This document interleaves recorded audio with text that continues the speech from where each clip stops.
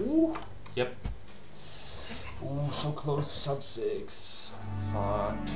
But damn, what a fucking insane run, dude. It's gonna be hard to beat.